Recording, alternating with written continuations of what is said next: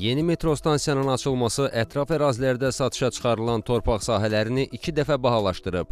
Paytaxtın Binəqədi rayonu Xocasən qəsəbəsindəki yol kənarı torpaq sahələri əvvəllər 5-7 min manat arası təklif olunurdu. İndi isə bu qiymət 10-15 min arası dəyişir. Buna səbəbsə qəsəbədə metronun yeni açılmış Xocasən stansiyasıdır.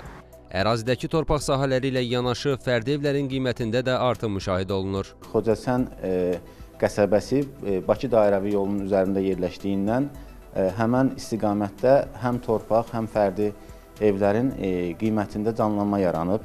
Xüsusən də əvvəllər 5, 7, 8 min civarında olan yol kənarında yerləşən fərdi ev, istər torpaqlar hal-hazırda 10-15 min civarında təklif olunur. Bunun əsas canlanma səbəbi metro stansiyasının açılışı ilə əlaqədardır. Realtor mülkədar Rüstəmov deyir ki, qəsəbədəki fərdi evlərin qiymətində əvvəlki vaxtlarla müqayisədə xeyli artım var.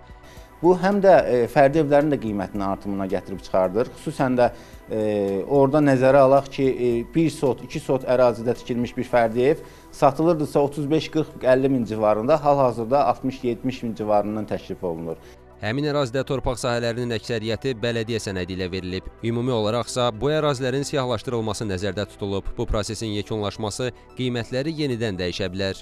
Gözlənilir ki, torpaqlar tam özəlləşdiyindən, bildiyiniz kimi çünki həmən ərazinin demək olar ki, 90 faizi bələdiyyə icarəsində olan torpaqlardır. Xüsusi mülkiyyət demək olar ki, çox az hallarda rast gəlinir orada və siyahıya, siyahıya alınma yekunlaşandan sonra e, daha da e, torpaqların qiyməti artacaq. Tam özəlləşdikdən sonra istər fərdi evlər, istər e, qeyri-yaşayış, istərsə də yaşayış da hamısına təsir edəcək. Realtorun sözlərinə görə metronun Xocasən stansiyasının açılışına görə qiymət artımı təkcə həmin qəsəbəyə deyil, Qaradağ rayonunun Lökbatan qəsəbəsi ərazisinə də təsir edib. Çünki yeni stansiyanın istifadəyə verilməsi bu istiqamətdən hərəkət edən vətəndaşların da işini asanlaşdırıb.